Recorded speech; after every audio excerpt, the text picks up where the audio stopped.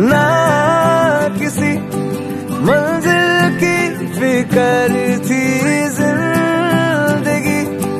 जीने की उम्र थी दोस्ती, और दोस्तों से उधार के दिन थे। वो दिन भी क्या दिन थे।